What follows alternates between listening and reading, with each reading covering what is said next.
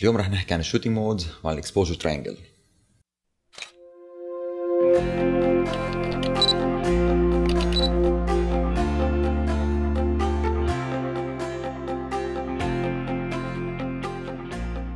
هاي معكم نبيل.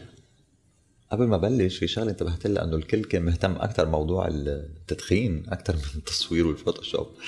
أه بس thank you very much يمكن لهالسبب أنا فعلا التزمت هالمدة وما دخنت ابدا من وقتها شكرا لكم. كمان كان في ناس بدهم يعرفوا عن Photoshop أكثر في ناس بدهم يعرفوا عن التصوير أكثر فكرمال هيك قررت إني أصير أعمل حلقة عن التصوير وحلقة عن Photoshop فاليوم بدي أحكي عن ال shooting modes اللي هن الأشياء اللي بنشوفها على الكاميرا من فوق وقت نختار نصور ال M الأحرف وعن ال exposure triangle الشغلة رح تكون شوي أوضح لو حكينا عن ال exposure triangle قبل ال shooting modes الكاميرا بتلقى الضوء بكل بساطة. إذا ما في ضوء ما في صورة. مشان هيك لحتى نقدر نطلع صورة حلوة لازم يكون فيها الضوء balanced متوازن تماما. ولحتى يتوازن الضوء بدنا ثلاث أشياء aperture shutter speed ISO بنبلش بال aperture ال aperture اللي هي بتنقاس بال F والسبب هو إنه بترجع لل focal length مثل ال F 1.4 مثل ال F 1.8 F 2 F 11 F 16 technically هي عبارة عن شفرات أو blades جوا العدسة بيفتحوا بيسكروا لحتى يعملوا فتحة صغيرة أو كبيرة لحتى يمرق من خلال الضوء. As simple as that. طبعا في لها تأثيرات إذا صغرت شو بصير واذا كبرت الفتحة شو بصير نحكي عنها برجع بس مبدئيا ال aperture هي قديش كبيرة الفتحة أو صغيرة بال lens. shutter speed هي قد الكاميرا عم تسمح للضوء إنه يفوت على ال sensor يا إما بسرعة يا إما ببطء. لو أنتم فاتحين عينكم لمدة طويلة بوجه الشمس مثلا نقول source ضوء قوي. فرح تنزعجوا وبعد فترة ما رح تشوفوا شيء. يعني بمعنى تاني إذا نحن إجينا أخذنا نفس المثال على الكاميرا وفتحنا الضوء كتير رح يحترق الفيلم. فإذا فتحنا الضوء لمدة قصيرة وسريعة رح يطلع يمكن ضوء خفيف يمكن ضوء مناسب طبعا كمان حسب ال measuring وحسب ال meter reading ثالث شغلة هي الاي اس أو هي قديش حساس ال sensor للضوء. إذا كان حساس للضوء كتير معناتها أنا ما بدي وقت طويل لحتى أقدر أستقبل الضوء اللي موجود عندي بال image. خلينا ناخذ مثال على ثلاثة مع بعض. أنا سويت animation كرمال نقدر أوضح هذه الفكرة لكم. بثلاث أشياء. يعني one one animation لل aperture لحتى تشوفوا كيف الضوء بيصغر من الفتحة وبيرجع بيطلع على ال sensor. one animation عن ال shutter speed رح تلاقي إنه ثلاث كاميرات مسكر فيهم ال shutter وفجأة فتح فات الضوء على ال sensor بعدين بلش يسكر وحدة قبل الثانية بثلاثة examples لحتى تشوفوا إنه كل ما ال shutter كان أسرع كل ما بفوت ضوء أقل على ال sensor. وآخر وحدة هي الاي اس أو اللي هي إذا مفتوحين ال shutter aperture نفس القياس وعم بفوتوا الثلاث صور على ثلاث كاميرات بنفس الوقت. أي وحدة رح تستقبل الضوء بسرعة أكثر وتكون حساسة أكثر للضوء. رح فرجيكم هلأ ثلاثة examples عن ال shutter ثلاث صور مختلفين. كل وحدة منهم أخذت ال shutter بسرعة مختلفة.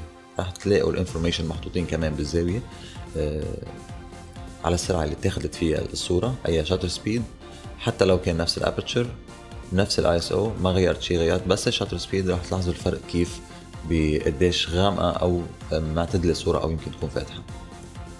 ال aperture بينقاس بشيء اسمه f مثلا f 1.4 f 2 f 4 f 8 11 and so on. كل ما على الرقم كل ما بتكون الفتحة أصغر تستقبل ضوء أقل بس بتكون sharp أكتر. كل ما قل الرقم كل ما فتحت ال lens استقبلنا ضوء أكتر بس صارت ال background blurry رح فرجيكم example على الموضوع.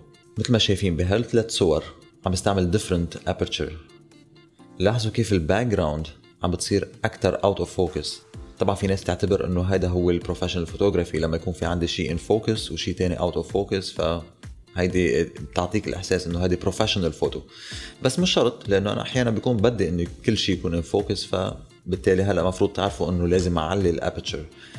اللي هي مثلا بدل أطلع من ال f 4 مثلا لل f 8 أو حتى f 11 أو even f 22 إذا بدي كل شيء يكون in focus تاني مثال عن ال shutter speed shutter speed تنقاس بالوقت.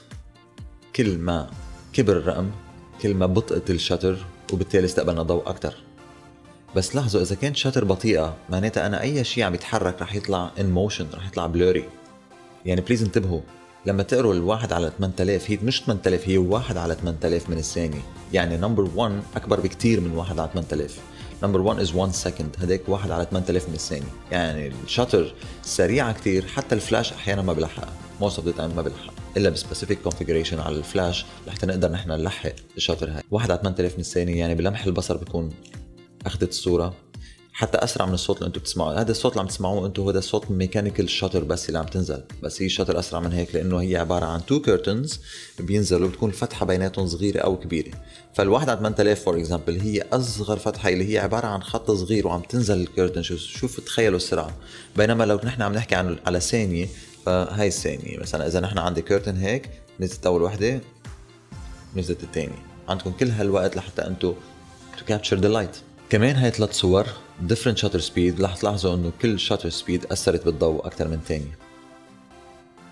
وآخر شيء ال ISO ال ISO له رقم معين 100 400 1600 800 اللي هو. الاي اس أو هو ال digital version of ASA من زمان كان في شيء اسمه ASA أو ال ASA اللي هي إنه الفيلم إنه ال negative كان حساس كثير للضوء. فينقاس مثلا لما أنا أروح بدي أشتري فيلم أشتري فيلم أشتري فيلم ASA 100 أو ASA 800 طبعا هذاك أغلى. الفكرة منها هي إنه ال sensor بصير حساس أكثر للضوء بيستقبل الضوء بسرعة أعلى. ففي ناس تغرب بتفكر إنه آه perfect يعني أنا هلأ إذا عندي low light situation ما في ضوء كفاية بعلي الايزو كتير باخذ صورة أموري تمام. إيه، يعني فيها وجهة نظر بس الفكرة إنه كل ما يعلى الايزو كل ما بصير الصورة grainy أكثر بصير فيها إيه، مثل مثل مبرغل الصورة. okay بصير فيها نقط noise noise اسمه.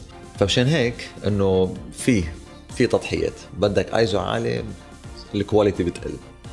بدك ايزو أوطى تاخذ صورة واضحة بس ساعتها تصرف. عندك هالثلاث ingredients اللي هن ال aperture shutter وال ISO عمل لهم balance وطيت من هون علي من هون. وطيت من هون علي من هون. عليت من هون وطي من هون so on بتعملوا balance بين الثلاثة لحتى يضل ال reading على آه، الميتر على ال zero. يعني لما تطلعوا أنتم بالكاميرا لاحظوا ال viewfinder تبع الكانون تبع النيكون لازم يضل هذا على ال zero. okay؟ هاي معناتها proper exposure لو راح لجهة اليسار معناتها صارت صورة غامقة. لو راح لجهة اليمين معناتها صارت صورة فاتحة.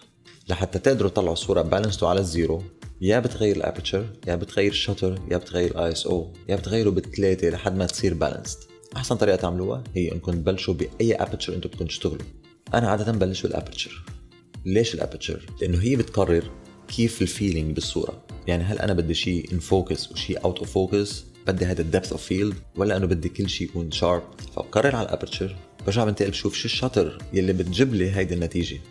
وهل بدي يكون فيها motion ولا لا؟ إذا كان ما بدي أي نوع من ال motion فأنا بدي shutter عالي. إذا ال shutter العالي قدرت تحقق لي ال balance بالإضاءة مع ال aperture تمام.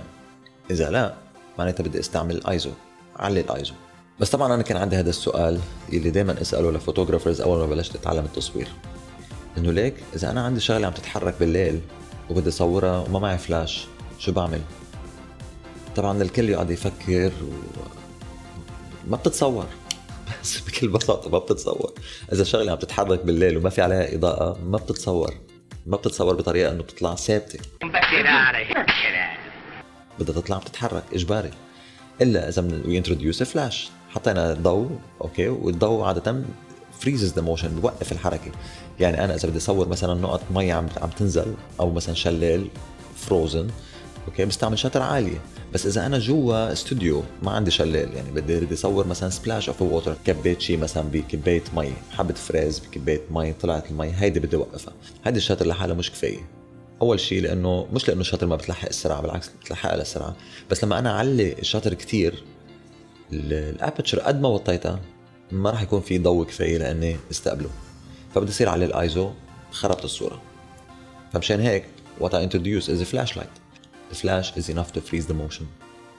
So هلأ لكن حكينا عن ال aperture حكينا عن ال shutter speed حكينا عن اي اس أو حكينا شوي كمان إنه في أحيانا نستعمل فلاش خلينا نشوف هلأ على الكاميرا شو فينا نعمل.